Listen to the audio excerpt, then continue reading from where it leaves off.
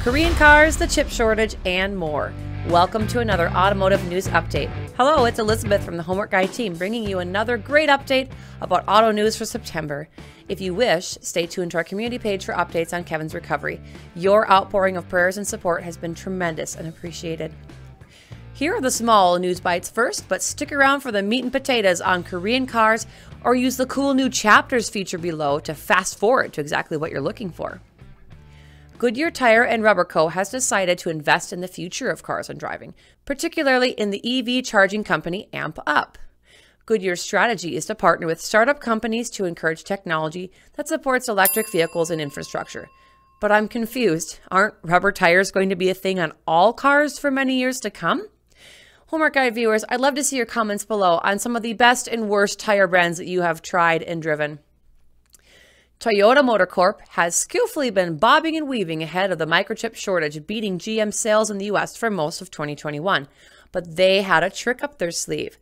Did you know that since the catastrophic tsunami in 2011, they have been stockpiling, hoarding microchips?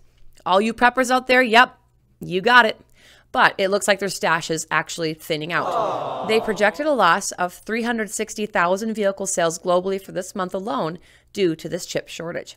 That's a 40% loss. Longo Toyota dealership in El Monte, California reports that while they typically carry around 1,500 to 1,800 vehicles on their lot, they currently only have about 200. In case you missed our video on the two key factors to watch for that are influencing the outrageous car prices right now, click the card at the top of the screen. One of the factors is car lot inventory. Fewer cars, higher prices. So check out the full video for more details on that. Here's a short list of how the microchip shortage is hitting other car manufacturers. Ford Motor Company will halt F-150 production in Kansas City for a week, and the F-150 is their biggest moneymaker. Ouch. General Motors is adding downtime in its sedan and crossover plants and even put its Detroit facility that builds the Chevy Bolt EV and EUV on idle. By the way, this is the first slowdown for GM's EVs. Mercedes-Benz has slashed its V8 SUV production. Check out my previous video for more details. And Volkswagen and Audi are limiting shifts and giving time off. Okay, on to something more positive. Uber Technologies also has a new incentive program up their sleeve. They took on a retail technology company called GetUpside. This startup company aims to organize discounts and cashback rewards for Uber drivers and delivery people. This move is aimed to increase the number of Uber drivers and overcome the current shortages. In case you're curious, here's a quick rundown on Uber.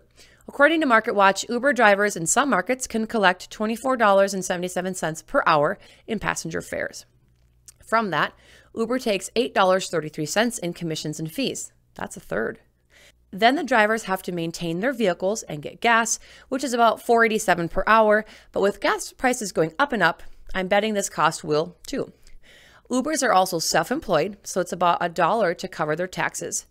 Without health insurance or retirement, drivers net an average of 1087 per hour, or with it, only 921 per hour. So I'm just thinking out loud here. Uber could just take the money they're investing into GetUpside and simply lower their fees for their drivers, you know, allowing them to keep more of their money. Nothing gets potential employees' attention like just good old cash, right? Are there any Uber drivers in our audience? We'd love to do a show exclusively about Uber, so feel free to comment if you have inside information that you think is good for us to know. Three major Korean automakers under the umbrella of Hyundai Motor Group are making a big push in the electric and crossover market with plenty of redesigns and new ideas. Hyundai's first pickup truck hit the market just days ago.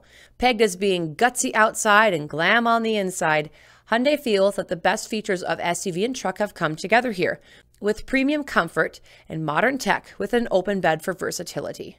The base model SE starts at $23,990. SEL sits at $27,190. SEL Premium is $35,680 and the Limited is $37,920. While it has features like all-wheel drive, 10-inch touchscreen display, underfloor storage bins, and 5,000 pound towing capacity, the combined gas mileage is only 22 or 23 miles per gallon. The Santa Cruz Premium has a 281 horsepower turbocharged four cylinder engine. So, what do you think, Homework Guy viewers? Do these extra cool features make up for the fact that the engine sounds a little small and the gas mileage isn't any better than the 10 or 15 year old trucks that we're already driving?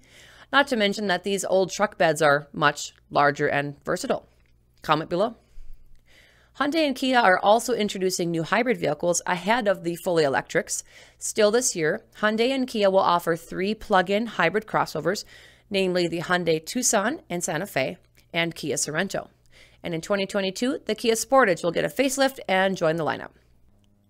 Genesis, Hyundai's luxury manufacturer, is also rolling out its own crossovers with EV in the near future. In case you were curious, here's a quick look at what Genesis offers for fall 2021. Sedans include the 2022 G70 starting at 37,525, 2021 G80 starting at 47,700, and the 2022 G90 coming in at a whopping 73,950. SUVs include the 2022 GV70 beginning at 41,000 and the 2021 GV80 starting at 48,900. Currently, the GV80 midsize crossover is already outselling the brand's three sedans combined. But look at these numbers, it makes sense. If an SUV and a sedan cost nearly the same, and they have a very similar trim level, etc., wouldn't you rather go for the bigger, more versatile vehicle? And the first Genesis electric car is coming 2023, the G80 Electric. I haven't visited a dealership yet who carries Genesis vehicles, but there are over 300 in the US. Comment below if you've seen a Genesis up close and even got to test drive one or even bought one. What I really like about Genesis, though, is its hybrid sales process.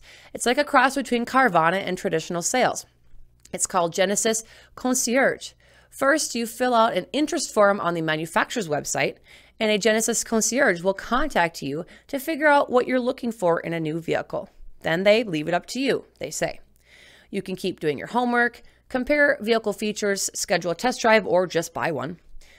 Lastly, and here's the hybrid part, when you're ready to buy or lease, a Genesis concierge will often arrange through the local dealer a home delivery of your paperwork and car.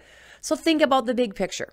The manufacturer themselves is training an initial sales force, the concierge, and they're sort of cutting out the dealer middleman.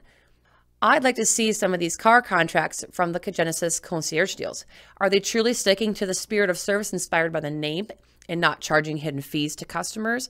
Or perhaps the delivery service has a significant charge. Do the dealers make much money on these cars? Considering the kind of customer generally interested in a luxury car line, they have more money to cover the convenience than time to waste sitting in a dealership a whole day.